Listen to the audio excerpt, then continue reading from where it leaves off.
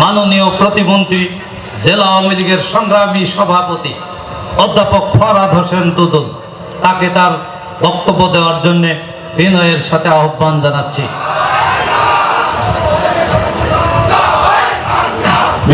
রহমান রহিম। সতেরো এপ্রিল ঐতিহাসিক মুজিবনগর দিবস উপলক্ষে আয়োজিত আজকের এই আলোচনা সভার সম্মানিত সভাপতি, আমাদের প্রিয় নেতা, আমাদের অত্যন্ত শ্রদ্ধাভাজন নেতা জনাব বি এম মজিবুল হক, সাংগ- সাংগঠনিক সম্পাদক বাংলাদেশ আওয়ামী লীগ। আজকে আমাদের প্রধান অতিথি হিসেবে এই ঐতিহাসিক সভায় উপস্থিত আছেন আমাদের প্রিয় নেতা, আমাদের প্রিয় মানুষ, জনাব আফামা বাহাদিন নাসিম, যুগ্ম সাধারণ সম্পাদক বাংলাদেশ আওয়ামী লীগ। আজকে আমাদের মাঝে উপস্থিত আছেন মাননীয় মন্ত্রী, মুক্তিযুদ্ধ বিষয়ক মন্ত্রণালয়, আমাদের অত্যন্ত শ্রদ্ধাভাজন, আমাদের প্রিয় মানুষ আকামা মজমেল হক এমপি। বিশেষ অতিথি হিসেবে উপস্থিত আছেন অ্যাডভোকেট আফজাল হোসেন, সম্মানিত সাংগঠনিক সম্পাদক, প্রিয় নেতা, বাংলাদেশ আওয়ামী লীগ। উপস্থিত আছেন জনাব সাইম খান, উপদপ্তর সম্পাদক, বাংলাদেশ আওয়ামী লীগ।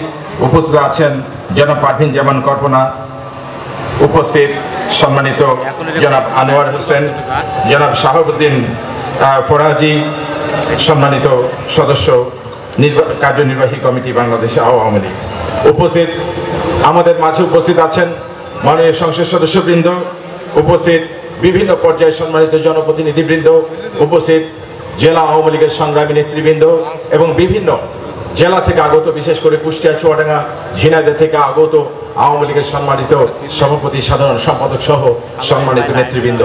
আমার সামনে উপস্থিত আছেন আমাদের বাংলাদেশের মুক্তিযুদ্ধের মহান মুক্তিযুদ্ধের বীর সন্তান আমাদের গর্বের মানুষ, আমাদের মহান মুক্তিযুদ্ধে যারা সেই যুদ্ধ করেছেন, আমাদের হাজার বছরের সেই অর্জন, স্বাধীনতা যারা ছিনিয়ে এনেছেন, বীর মুক্তিযোদ্ধাবৃন্দ উপস্থিত, সম্মানিত অতিথিবৃন্দ, সুধীবৃন্দ, সাংবাদিকবৃন্দ, সকলকে আমার আন্তরিক শুভেচ্ছা, আমার আন্তরিক অভিনন্দন, আমার আন্তরিক সালাম, আসসালামু আলাইকুম। আজকের এই ঐতিহাসিক- সভায় বক্তব্যের শুরুতেই আমি গভীর শ্রদ্ধা ভরে স্মরণ করব। সর্বকালের সর্বশ্রেষ্ঠ বাঙালি, মহান মুক্তিযুদ্ধের মহানায়ক আমাদের জাতির পিতা বঙ্গবন্ধু শেখ মুজিবুর রহমানকে এবং একই সাথে তার পরিবারের শহীদ সদস্যবৃন্দকে। আমি স্মরণ করব গভীর শ্রদ্ধার সাথে বঙ্গবন্ধুর অত্যন্ত ঘনিষ্ঠ চার জাতীয় নেতৃবৃন্দকে, ত্রিশ লক্ষ শহীদ, দুই লক্ষ নির্যাতিত মা বোনকে, যারা মহান মুক্তিযুদ্ধে তাদের আত্মত্যাগের বিনিময়ে আমাদের স্বাধীনতা এনে দিয়েছেন, স্বাধীন আমাদের বাংলাদেশ দেশ মাতৃকে এনে দিয়েছেন।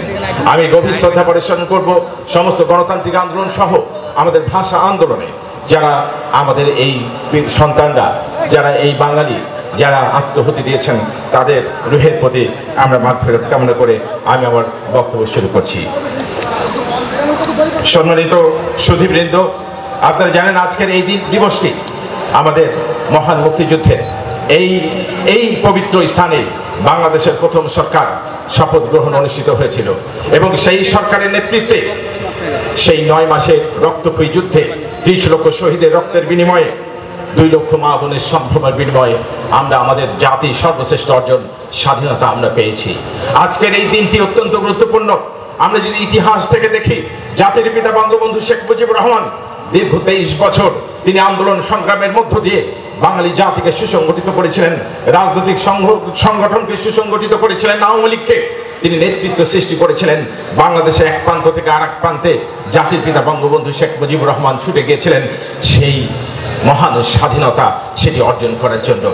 ঘটনাক্রমে একটির পর একটি যে ঘটনা, আমরা জানি সেই উনিশশো একাত্তর সালের সেই মার্চের, সেই অগ্নিঝরা মার্চের সেই ঘটনাগুলো, পয়লা মার্চের থেকে ঘটনা এবং তেসরা মার্চে যে আমাদের সরকারের যে সেই সময় যে অধিবেশন হবার কথা ছিল, সংসদ অধিবেশন, সেটি যখন বর্জন করা হলো, সেটি যখন বন্ধ করে দেওয়া হলো, তখন থেকে জাতির পিতা বঙ্গবন্ধু শেখ মুজিবুর রহমান পয়লা মার্চ থেকে আন্দোলন শুরু করলেন এবং দোসরা মার্চ এবং দোসরা মার্চ থেকে তারপরে সাতই মার্চের সেই দিন নির্ধারণ করা হলো। জাতির পিতা সেই রেসকোর্স ময়দানে তিনি ভাষণ দিলেন, বক্তব্য দিলেন, জাতির উদ্দেশ্যে এবং মুক্তিযুদ্ধের ডাক দিলেন এবারের সংগ্রাম আমাদের মুক্তির সংগ্রাম এবারের সংগ্রাম স্বাধীনতার সংগ্রাম। তারপর থেকে প্রত্যেকটা দিন, প্রত্যেকটা মুহূর্ত বাঙালি জাতির জন্য অত্যন্ত ঐতিহাসিক, অত্যন্ত গুরুত্বপূর্ণ ঘটনা। তারপরে আমরা জানি সেই পঁচিশে মার্চের রাত্রে জাতির পিতা বঙ্গবন্ধু শেখ মুজিবুর রহমান, তিনি ঘোষণা দিলেন, আজ থেকে বাংলাদেশ স্বাধীন। এবং তারপর থেকে বাঙালিরা প্রত্যেকে প্রস্তুত হয়ে গেল এবং বঙ্গবন্ধু বললেন, শেষ রক্তবিন্দু থাকা পর্যন্ত আমাদের শত্রুর বিরুদ্ধে লড়তে হবে। আজকে এখানে মহান মুক্তিযোদ্ধারা রয়েছেন, তাদের অনেক বয়স হয়েছেন। আপনারা শ্রদ্ধেয় মানুষ, আপনাদের প্রতি গভীর শ্রদ্ধা নিবেদন করি। আপনারা জাতির পিতা বঙ্গবন্ধু শেখ মুজিবুর রহমানের ডাকে, আপনারা সারা দিয়ে এই দেশের জন্য আপনারা যুদ্ধ করেছেন। আপনাদের অনেকের সহযোদ্ধারা জীবন দিয়েছে। তাদের জীবনের বিনিময়ে আমরা স্বাধীনতা পেয়েছি। এবং আজকে এই দিবসটি, তারপরে সতেরোই মার্চ, আমরা জানি দশই মার্চে সরকার গঠন হয়, সতেরোই মার্চ সতেরোই এপ্রিল সতেরোই এপ্রিল এই মুজিবনগরে, সেই বৈদ্যনাথ তলা এখানে সেই বাংলাদেশের প্রথম সরকারের শপথ গ্রহণ অনুষ্ঠিত হয়। এই মুজিব মুজিবনগর সরকারের নেতৃত্বে নয় মাসের যুদ্ধে আমরা বঙ্গবন্ধুর যেভাবে সমস্ত কিছু প্রস্তুত করে রেখে গিয়েছিলেন, বঙ্গবন্ধু সমস্ত কিছু যুদ্ধের জন্য সাজিয়ে রেখে গিয়েছিলেন সেই জাতির পিতা তিনি যেভাবে নকশা করে রেখেছিলেন, ঠিক সেভাবে এই মুজিবনগরে সেই শপথ অনুষ্ঠানটি হয়। তার মাধ্যমে সকলে বাঙালিরা জেগে ওঠে এবং আমরা মুক্তিযুদ্ধের মধ্য দিয়ে আমরা দেশ স্বাধীন করি। আমাদের সেই স্মৃতি, সেই ঘটনা আজকে প্রতি বছর বাংলাদেশ আওয়ামী লীগ এই দিবসটি উদযাপন করে থাকে। আজকে শেখ হাসিনা সরকার সারা বাংলাদেশের প্রত্যেকটি উপজেলাতে এই অনুষ্ঠান এই আজকের এই মুজিবনগর দিবসটি উদযাপিত হচ্ছে। আজকে অত্যন্ত গর্বের বিষয় সারা বাংলাদেশে। আমরা এখনও জানি, অত্যন্ত লজ্জা হয় আমাদের যে বাংলাদেশ আওয়ামী লীগ ছাড়া, আমরা দেখি স্বাধীনতার সপক্ষের শক্তিগুলো ছাড়া জামাত বিএনপি যোগ কখনো কোনোদিন এই সতেরোই এপ্রিল উদযাপন করে না। এটা লজ্জার বিষয়। আমরা দেখি তারা দাবি করে থাকে অনেক সময় তারা স্বাধীনতার সপক্ষের কথা অনেক সময় বলে থাকে। কিন্তু আমরা দেখি যে এই সতেরোই এপ্রিল উদযাপন তারা করে না।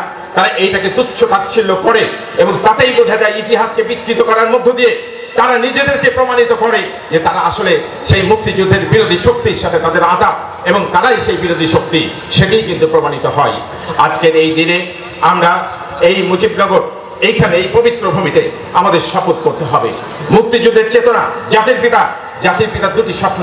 এই দেশকে, এই হাজার বছরের শৃঙ্খলিত জাতিকে পরাধীনতার আবদ্ধে শৃঙ্খলিত এই জাতিকে মুক্তির স্বাদ দেওয়া, যেটা আর অন্য কেউ দিতে পারেনি।